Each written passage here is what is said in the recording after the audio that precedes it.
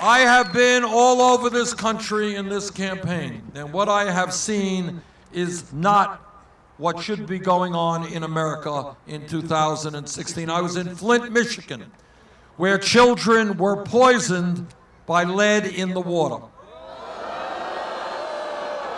I have been to the inner cities in Detroit, where the public school system is literally on the verge of fiscal collapse. I have been to Baltimore, Maryland, where tens of thousands of people are addicted to heroin and cannot get the treatment they need. I have been in communities in inner cities where there are no grocery stores, where a mother cannot buy fresh food for her kids, where there are no banks and the only way you can cash a check is through a payday lender who will charge you outrageous interest rates.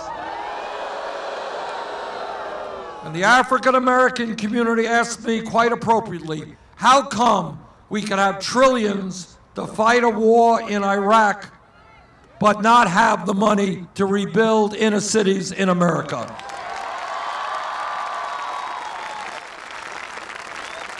If elected president, together we are going to change our national priorities.